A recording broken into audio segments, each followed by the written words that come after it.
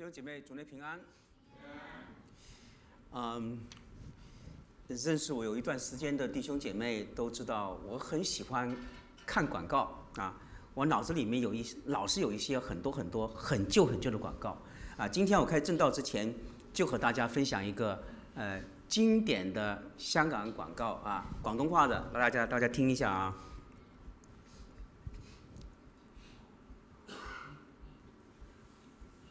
没声音。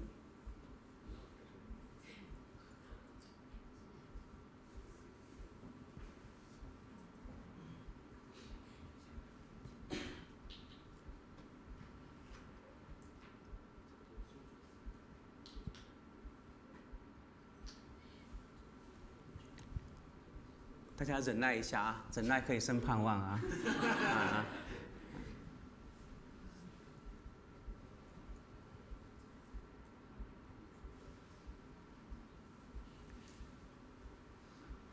以后这个 PPT 还是要做简单一点啊。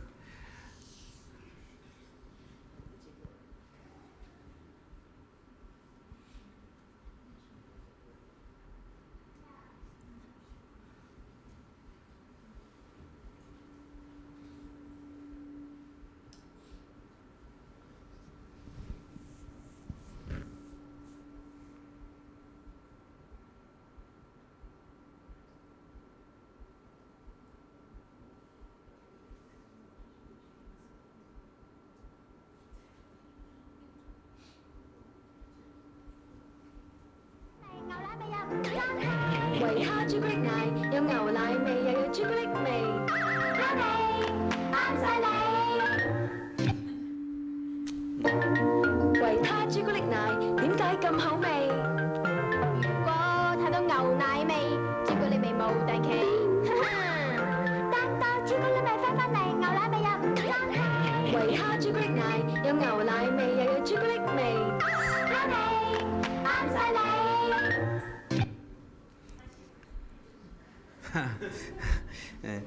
这这是一个非常老的广告，这是一个一九八六年的广告。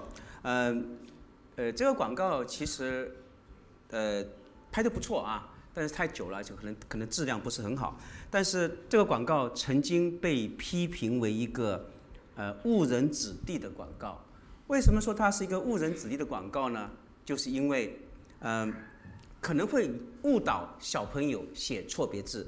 啊，首先可首先讲一下，就在香港的话，这个巧克力的翻译是朱古力啊，所以如果你把这个广告拍成猪跟牛的话，可能以后小朋友写朱古力都会写成小猪的猪了啊。然后另外一个误导就是，可能误导小朋友以为是巧克力是来自猪奶跟牛奶啊，所以所以说这个广告是一个误人子弟的广告。但是我们要，其实这广告也挺有创意，而且这广告它的其实它有很有。很有很有一个背景，就是说，他的这个广告的歌作曲的是一个作曲家叫呃郭晓玲，他是呃张国荣的那一首《无心睡眠》的作者，所以这首歌这这个这个这个广告的创造者也挺有名气的。但是我们特别留意这个广告的歌的歌词，他说这个是用广东话写的啊，他说如果牛奶太多，这个如果太多牛奶味的话。那巧克力就没有位置了，但如果巧克力太多的话，那牛奶味又没有了。但是维他巧克力奶它是刚刚好，所以就说安美安塞雷，就是说刚刚好，完全适合你。广告告诉我们，维他巧克力奶它拥有最美好的配方。它刚刚好的巧克力，刚刚好的牛奶，它们的配搭是天衣无缝的。弟兄姐妹，维他巧克力奶它有刚刚好的牛奶味，它又有刚刚好的巧克力味。其实，上帝创造人也是一样，有男有女，男女各有特点，男女各有特长，男女。各有职责，弟兄不能自高自大，姐妹不能妄自菲薄。我们真的要为我们的上帝的创造喝一声彩，鼓一个掌，点一个赞。上帝所创造的男和女，就像这个广告的最后的结尾所说的一样，阿美安塞内，就是说刚刚好，个个都会喜欢。很遗憾，我们已经渐渐忘记了上帝创造的美好。今天这个世界，嗯，还有很多很多的不幸的事情发生，还有很多很多针对妇女的一些的暴力行为。据澳洲的一个研究调查报告，这个是关于二零一九年的。他说，二零一九年澳洲有七十四名女性。由于家庭的暴力或者的性暴力而死亡。这个报告又说，平均每一个礼拜有一名女性被目前或曾经的亲密伴侣杀死。报告又说，平均每天有八名女性被伴侣重伤而入院治疗。我们千万不要以为这些事情是发生在西方世界，我们华人世界就比较温馨，不会发生这个事情。同样。一个报告是关于香港的，这个香港的报告说，香港二零一四年、二零一六、二零一五年、二零一六年每年的家庭暴力的总数高达三千九百二十二、三千三百八十二、三千三百二十一。我们大家要非常留心看，大部分的都是针对女性的，他们有每一年都将近百分之八十四左右的。这个数据说，女性在家庭暴力是最容易受到伤害的。面对这些数据，我们非常的痛心疾首。作为一个基督徒，我们真应该好好的去读一读圣经，我们真的要好好的去思想一下，上帝心目中的男人和女人是怎么样的。根据创世纪的。一章和二章，我们知道上帝的创造是一到第五天，创世纪的一章的一到二十三节，他说：“我上帝为我们创造了光、天空、水、陆地、植物、日月星宿，还有雨跟鸟。”到了第六天，上帝创造了动物和人类。到了第七天，上帝歇了他的功。第六日。可以讲是我们，可以讲是上帝创造的一个高峰，呃，因为他创造了人类，这是上帝创造中的巅峰中的巅峰，所以我们今天所读的经文二十六节到三十一节，大部分都是写上帝创造人类，他告诉我们，上帝是怎么创造人类的？他说，我们要按照我们的形象，按照我们的形式造人。就是说，上帝是按照自己的形象和样式造人的。然后他又说，上帝说使他们管理海里的鱼、天空中的鸟、地上的牲畜和全地以及地上爬的一切爬行动物。这告诉我们，上帝创造人类的目的是什么？安排人去管理世间的一切东西。然后圣经又说，上帝就照着他的形象创造人，他创造了他们有男有女。这告诉我们，无论是男的，无论是女的，都是按照上帝的形象形象所创造的。然后上帝又，然后圣经又说，上帝赐福给他们，上帝对他们说，要生养众多。呃呃，生生养众多，遍满这地，治理它，要管理海里的鱼、天空的鸟和地上各样活动的生物。这告诉我们，上帝是无论男的女的，我们他都是祝福我们，祝福我们要生养众多，管理全地。最后，圣经说：“看呐，都非常好。”这告诉我们，上帝非常满意他的创造，他认为他所创造的一切。都非常的完美。创世纪的一章二十六到三十一节，这是我们非常熟悉的一段经文。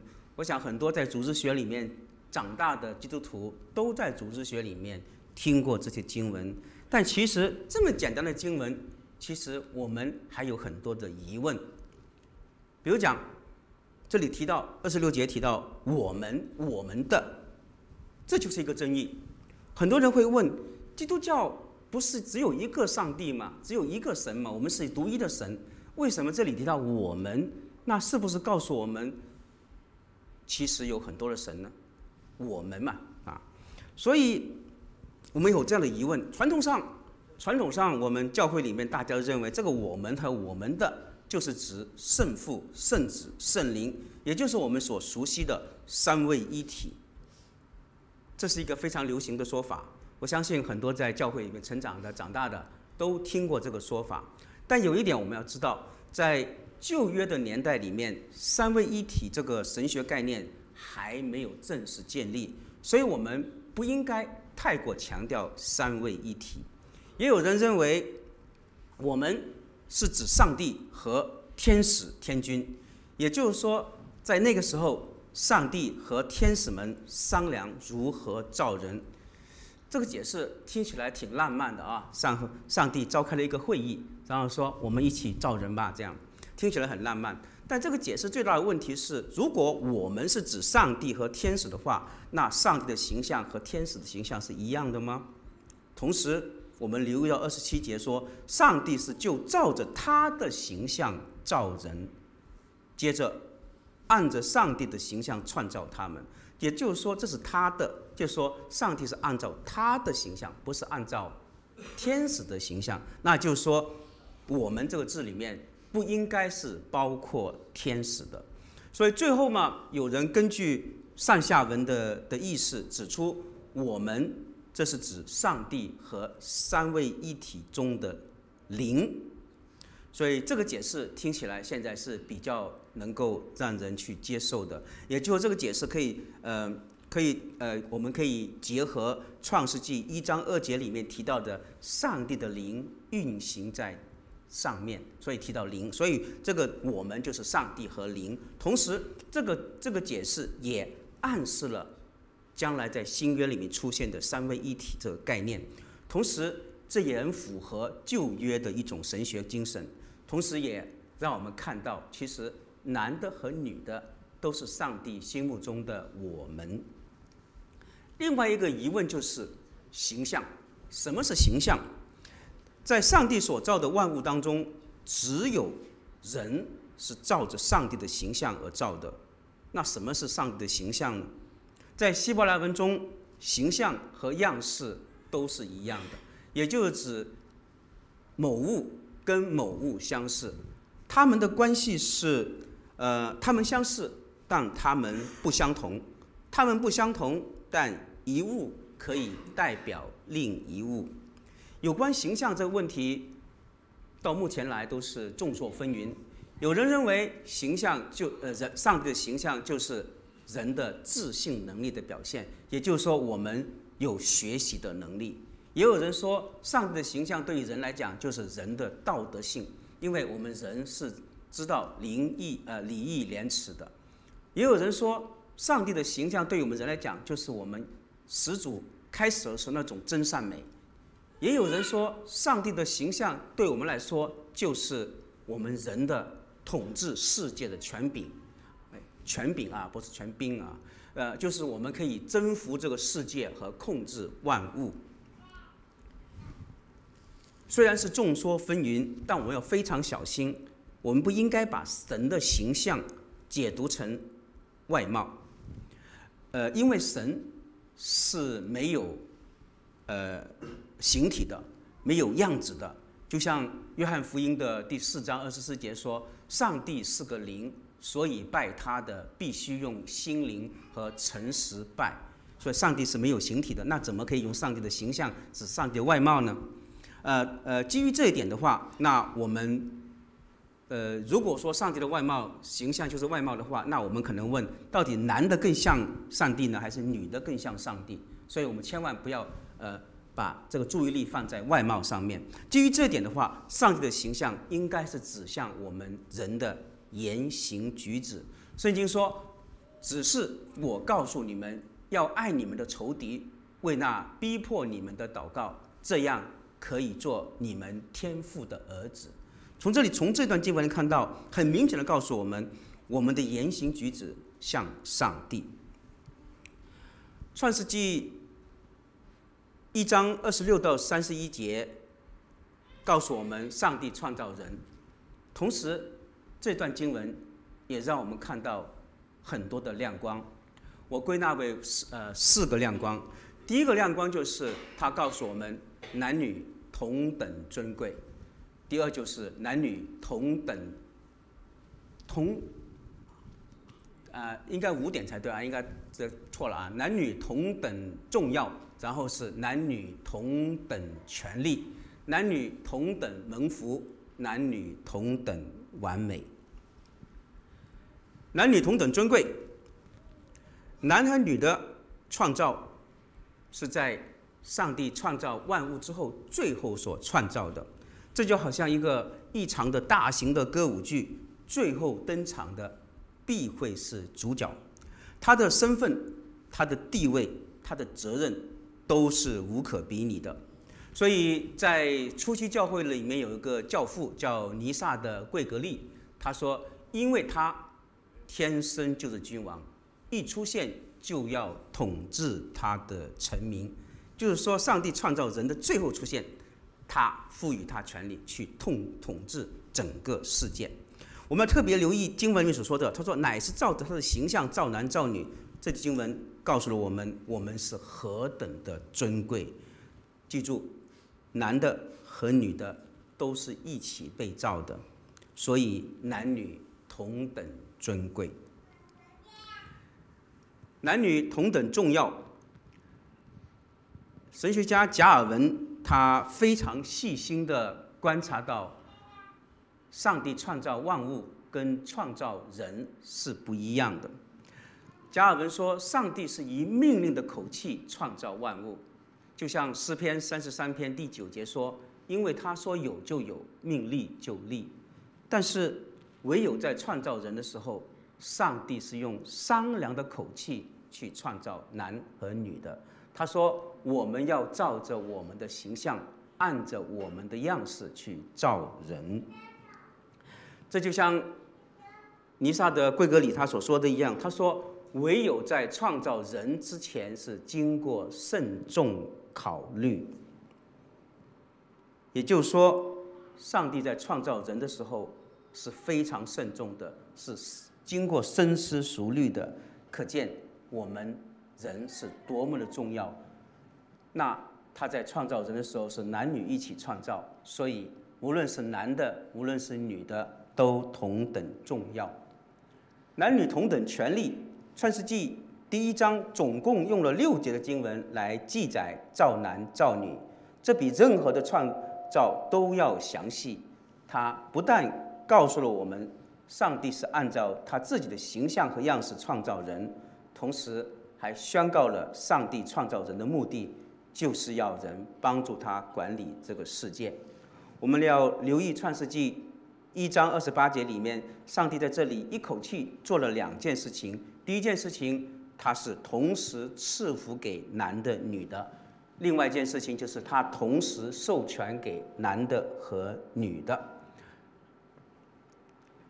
授权给男的、女，他说：“你要生养众多，遍满这地，治理这地，也要管理海里的鱼、空中的鸟和地上各样的生物生物。”所以这里出现两次，出现了他们。很明显，上帝的眼中，男人和女人是毫无分别的，男女同等权利，男女同等门福。上帝亲口应许男人和女人可以享受上帝所赐的食物。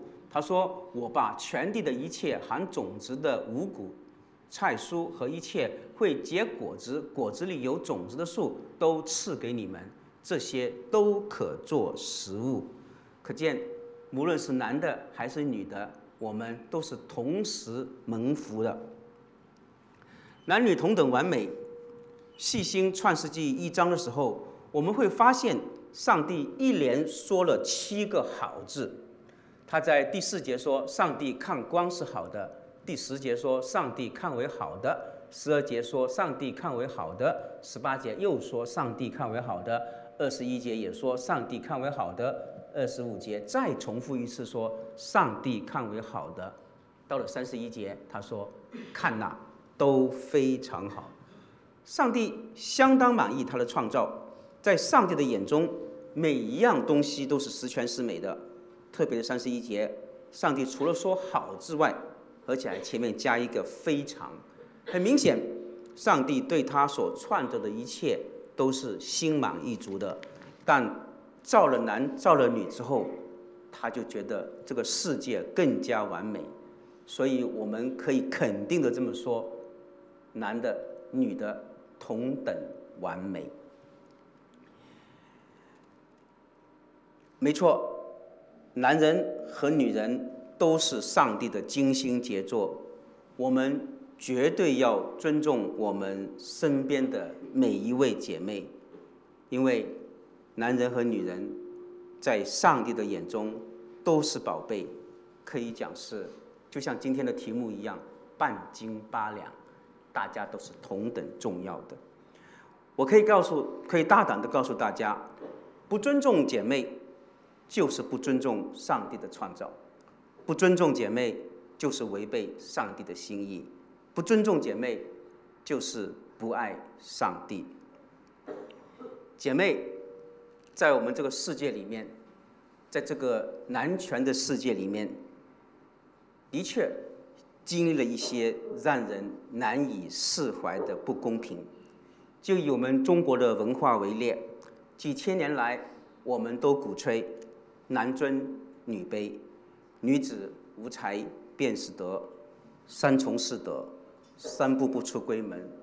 生了个女的，可能会说啊，生了个亏本货。然后我们会说，男主外，女主内。我们细心留心我们的中文字里面，凡是跟不好的东西出现的，都会加个女字边，比如像尖字、贪婪的婪字，甚至妙字也是女子越少越妙，越越越少越妙啊！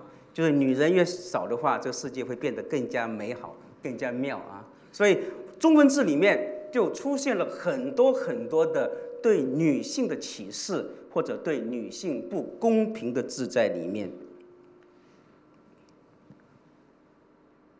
我记得我们小时候，我的我的老我的老我第一个女儿是我第一个孩子是女儿啊。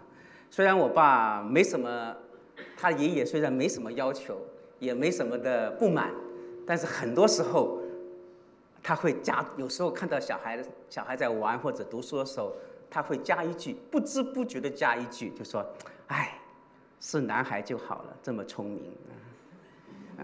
虽然他没讲启示，但听起来都不是很是味道啊。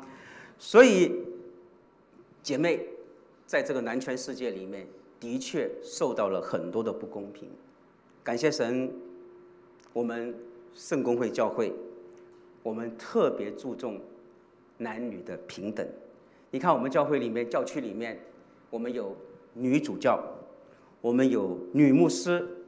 我们有女的领袖，我们还有女的童工，所以在教会，在教会里面，男女都可以发挥上帝所赐给他们的恩赐。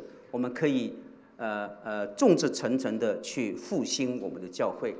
教区在前几年还大力推行这个防止针对妇女的暴力行为行为啊，呃，我们就所谓的英文叫做 PVAW。呃，就是希望我们教区教会能够做得更好，更加去保护我们的呃姐妹。作为一个基督徒，无论你是弟兄，无论是你是还是姐妹，我们都有责任，都有负担去保护我们身边的每一位姐妹，以免她们受到一些暴力的对待。所以我们应该重新。认识 PVAW 中的暴力，一直以来我们都误会所谓的暴力就是身体上的一些暴力，比如比如讲呃我们呃拳打，我们脚踢，我们掌掴，还有是我们呃这些总之在肉体上面造成伤害的叫暴力。其实根据联合国卫生组织的一种它的定义，暴力其实它是。包括很多东西的，包括了言语上面的，包括了精神上面的，包括了经济上面的，包括限制人身自由等等的伤害，都是暴力。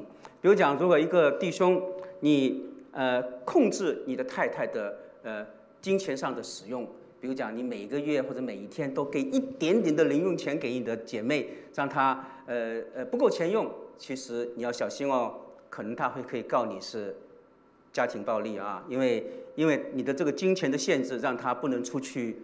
去去去跟朋友见面，或者很多很多事情不能做，这也是一种暴力行为。或者是有些呃家庭发生的事，呃姐妹如果出去之后，老公回来可能会拼命的询问她今天去了哪里啦，跟谁见面啦，你们做了什么事情啦，还有可能会去查看一下你的电话里、手机里的一些消息的话，这也是家庭暴力的一种。所以我们特别小心了啊，在座弟兄啊，我们特别小心啊。有时候我们可能呃不知不觉的做了一些事情，比如讲我们可能会对姐妹，去对身边太太说了一些一些一些话啊，这些话可能也会产生一种呃家庭的暴力啊。啊，比如讲有个有个弟兄说你呀真蠢，跟他太太讲你真不聪明，什么都蠢，你经济上面也没能力，你工作又不没有我好，你什么事情都不都不如我，但是。你只有一样东西比我强，你就是就是你有一个好的伴侣，呃，听起来很很笑，其实这个男的也伤了男的，伤了那个姐妹的自尊心啊，男这个女的什么都不如他。另外，我们也要重视 PVA 啊，PA 呃 PVAW，呃，我们不要以为 PVAW。就家庭的针对家家针对妇女的一些暴力行为，只发生在一些遥远的地方，或者发生在一些呃呃呃一些呃西人或者其他其他民族的身上面。其实我们的身边也经常发生类似的事情，所以我们要警惕我们身边的一切，我们要义不容辞的站出来。我们发现这种行为的话，我们就要勇敢的。向这些针对妇女的暴力行为说 no，而且我们要对针对妇女的暴力行为是零容忍的，不能就说睁只眼开只眼，或者啊小小事情就不要理他了。我们一定要不能做到那种事不关心、事不关己、急不劳心那种态度。我们也不可能要做到，我们不也不能做到是个人至少门前雪，莫管他人瓦上霜。人家家里的事情就不要理他了。另外，我们也要呃，姐妹，我们也要改改变我们的根深蒂固的思想。很多时候，呃，姐妹觉得好像就是家庭暴力嘛，应该是呃正常的，我们去就忍受吧。我们还有就是说啊，家丑不能外扬。我们可能也说夫妻打架船尾就和好了。我们也说哎呀，一夜夫妻呃百日恩。我们可能也说说哎呀。老公打打打女的，这是天公地道的，我们就谁叫我是女人呢？这就是命啊！我们千万不要有这种思想。同时，我们基督徒也要正确的理解什么叫爱。当这些针对妇女的暴力行为发生的时候，我们不能用一个用一个“爱”字来去概括它。不要说“哎呀，为了家庭的合一”。哎呀，为了这个婚姻的完美，我们还是忍忍吧，就容忍这些暴力吧。这些容忍就会造成大错出来。另外，姐妹也要懂得保护自己，而且还要懂得知道我们是上帝，你们是上帝所创造的，你们和弟兄一样有同等的权利、同等的完美、同等的重要、同等的尊贵和同等的权利。所以，当我们明白了圣经的教导，明白了圣经在创造男和女的时候是同等的时候，那弟兄的就会更加的爱姐妹，姐妹的就会更加的会去保护自己。好，我们来到结论。最后嘛，我想以清代诗人袁美的一句诗结束今天的正道。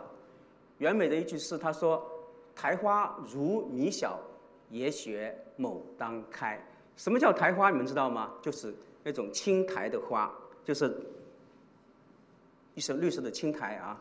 这种青苔看不起眼，但其实它也会开花的。它会开的像像小米粒一样的小花出来。呃，诗人的意思就是说，我们苔花虽然小，但是它开的时候，它也会像牡丹花、牡丹花一样开的这么灿烂、这么漂亮。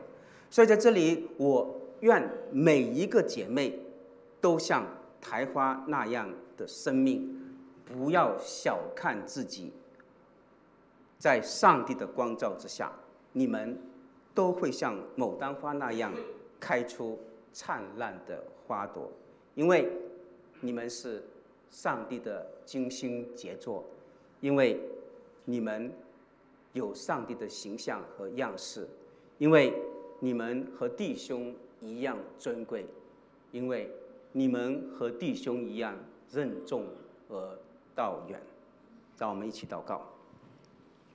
亲爱的天父，感谢你以你的形象创造了我们，并让我们管理这个世界，但我们实在不配。我们自大，我们自私，我们软弱。亲爱的天父，求你加恩加力给我们，让我们好好认识你和我们自己，让我们不忘你在创世纪一章二十六、三十一节教导，让我们。无论是弟兄还是姐妹，都能彼此相爱，都能成为你忠心良善的管家。奉主名求，阿门。